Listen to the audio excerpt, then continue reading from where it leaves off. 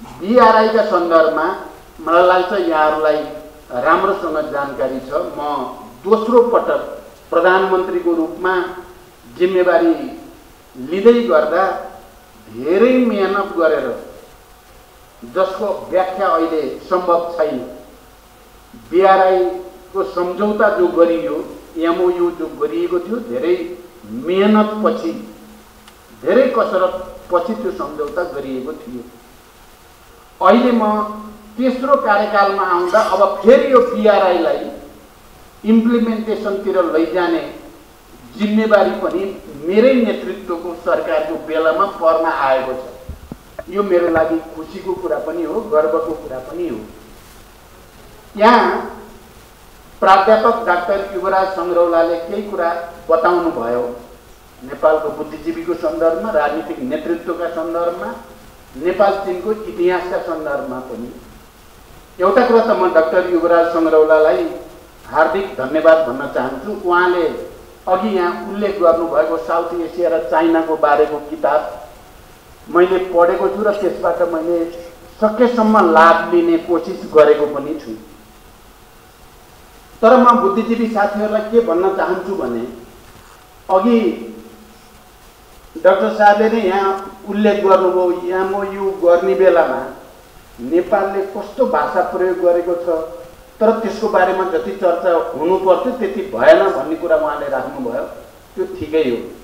तर म यहाँहरू सबैको ध्यान कतापट्टि आकर्षित गर्न आवश्यक ठान्छु भने जुन राजनीतिक नेतृत्वले बिआरआईको दीर्घकालीन महत्त्वलाई यसको रणनैतिक महत्त्वलाई आत्मसात गरेर गम्भीर भाषामा सहमति गरायो त्यो नेतृत्वप्रति तपाईँहरूले अलिकति पनि सकारात्मक सन्देश जनतामा सम्प्रेषण गर्न कति मेहनत गर्नुभयो?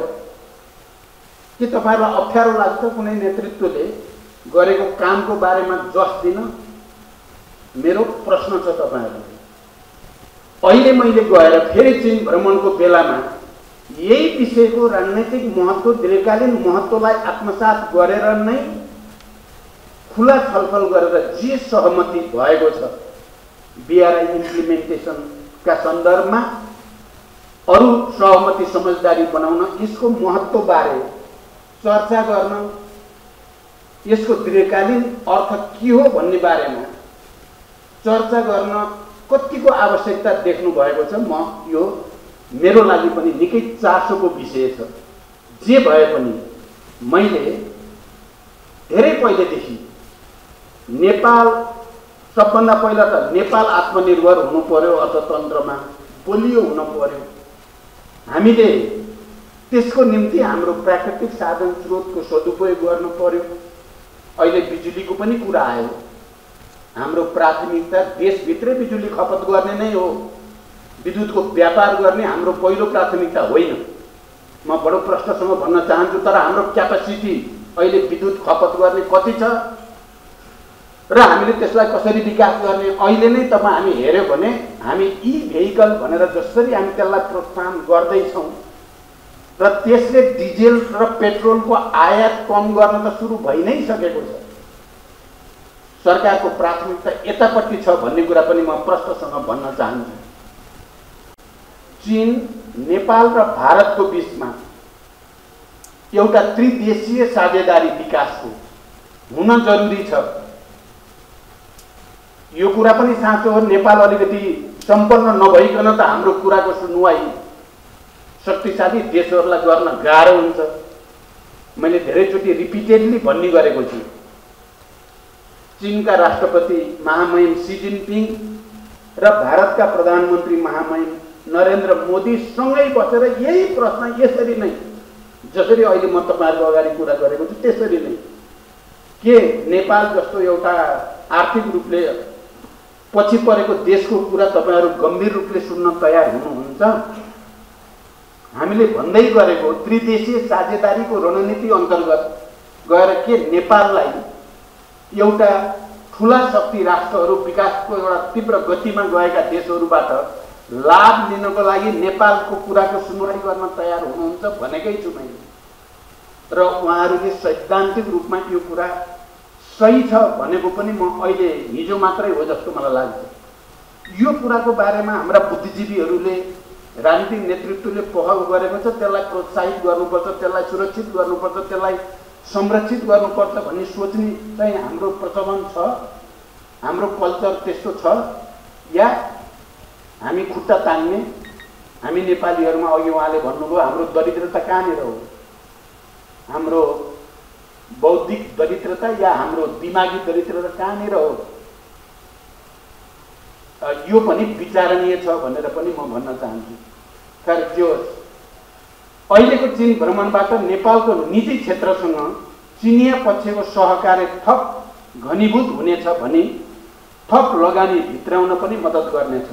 नेपालको निजी क्षेत्र र चिनको निजी क्षेत्रको बिचमा कार्यक्रम सम्पन्न गरेर हामीले नेपालमा लगानीको निम्ति आह्वान पनि गरिएको छ। तुलनात्मक लाभका क्षेत्रमा लगानी तथा प्रविधि विस्तार गरी दुवै मुलुकको जनताले बढीभन्दा बढी प्रतिफल प्राप्त गर्ने गरी चिनिया लगानीकर्तासँग सहकार्य गर्न नेपालको निजी क्षेत्रलाई सघाउन सरकार प्रतिबद्ध रहेको कुरा पनि म यस सन्दर्भमा स्पष्ट गर्न चाहन्छु। महामहिम राष्ट्रपति सी जिनपिङ सन् दुई हजार तेह्रमा चिनको केन्द्रीय नेतृत्वमा आएपछि गरिबी निवारण अनुसन्धान र विकास आरआइडी प्रविधि र अन्य क्षेत्रमा चिनले जुन परिमाणमा फड्को मारेको छ त्यो विश्व इतिहासका लागि समेत शिक्षाप्रद र नमुना योग्य नै छ। विश्वकै लागि अनुकरणीय छिमेकी र असल मित्र राष्ट्र चिनको यो अभूतपूर्व विकास नेपालका लागि ठुलो लेसन पनि हुनसक्छ र ठुलो अपर्च्युनिटी अवसर पनि हुनसक्छ भन्ने मेरो विश्वास छ। नेपाल चिनको यो द्रुततर विकास गरिबी निवारण तथा चिनले अगाडि सारेको दिगो विकास तथा साझा समृद्धिको अवधारणाबाट पुरा लाभान्वित लाभान्वित हुन सक्नु पर्दछ र लाभान्वित हुन चाहन्छ पनि। हामीलाई पूर्वाधार विकासमा ठुलो लगानीको खाँचो छ। परम्परागत स्रोतबाट प्राप्त हुने विकास सहायताबाट मात्रै हाम्रो आवश्यकता पुरा हुन सक्ने स्थिति छैन। विकास निर्माणलाई तीव्र बनाउन थप बाह्य पुँजीको पनि खाँचो छ। बिआरआई नेपालका लागि यस्तो महत्त्वपूर्ण स्रोत हुन सक्छ। विगत दस वर्षमा बिआरआई मार्फत मात्र एक हजार अरब अमेरिकी डलरभन्दा बढी लगानी भएको तथ्याङ्क सार्वजनिक भइरहँदा नेपालले तुलनात्मक रूपमा लगानी भित्र्याउन सकेन। अब हामी छिट्टै कार्ययोजना बनाएर समयबद्ध कार्यतालिका अनुरूप दुवैतर्फका साझा संयन्त्रहरूलाई परिचालन गरेर छिटो काम गर्नुपर्ने अवस्था छ र सरकार त्यो दिशामा गम्भीर रूपले अगाडि बढेको जानकारी पनि म गराउन चाहन्छु। मैले चिनिया नेताहरूसँग या प्राज्ञिक समुदाय र व्यावसायिक समुदायलाई पनि स्पष्ट भनेको छु। नेपालको तर्फबाट लिनुपर्ने पहल कदमी तथा नीतिगत र प्रक्रियागत अवरोध हटाउने काम नेपाल सरकारले गर्नेछ।